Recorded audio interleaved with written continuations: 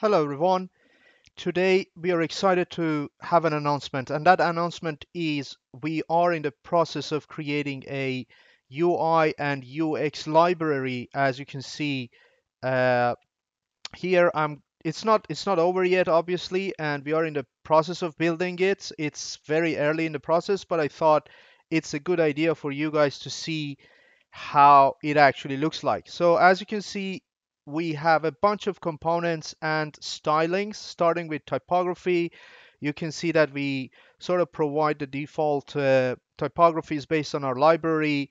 We have almost six uh, which is, this list is going to grow list of uh, colors that you can use in your project. So primary primary alternative secondary green and you can always go ahead and copy and paste the hex and use it in your projects.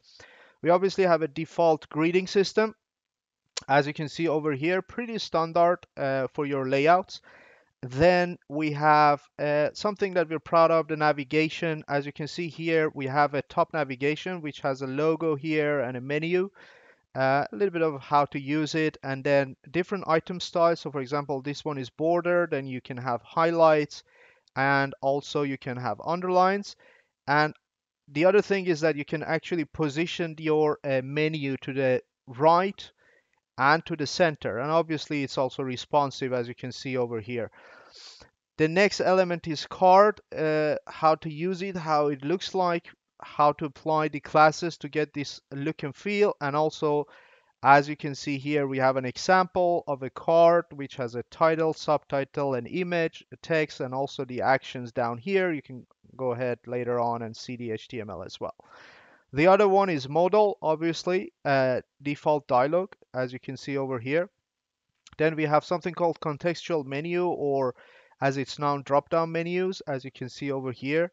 Uh, you can trigger it based on the context that this, you know, button is. You also can have the alerts, so the look and feel of the alerts are like this.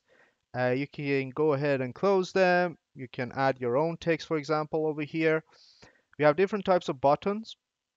As you can see, different colors based on the color palette that you saw earlier.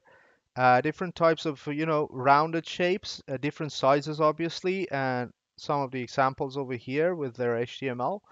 Then we have form elements, uh, different types of inputs, inline form, checkboxes, as you can see, radio buttons and, you know, toggle switches as you can see this list is not complete. We're working on it. You can have different types of lists. It shows how the list looks like. As you can see you can use lists for vertical menus as we have over here. This one for example is built using the list system. Uh, settings and preferences and obviously list of profiles for example uh, different types of uh, or heroes. As you can see, this is the default one, and then you can have a rounded border down here and tilted as well uh, to the right and to the left. Then we have a bunch of components, very exciting. So one of them is on scroll reveal. For example, in this prototype, if I scroll down, you will see that images are sort of revealing themselves based on the scroll as you can see over here. We have background parallax uh, so if you notice when I scroll down the background has this nice parallax effect. It actually works on the mobile phones as well which is pretty cool. And then we are in the process of carousel. We haven't started it yet.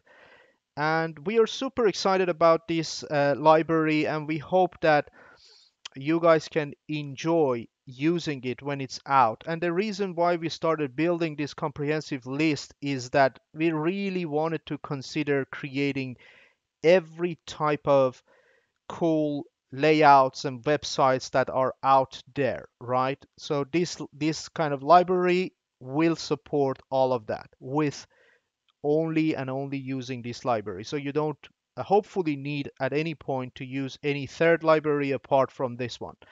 So I hope you enjoyed this announcement. Uh, stay tuned. If you haven't subscribed, please go ahead and subscribe. And we are as excited as you are. I wish you a great day and night for you and see you next time. Goodbye.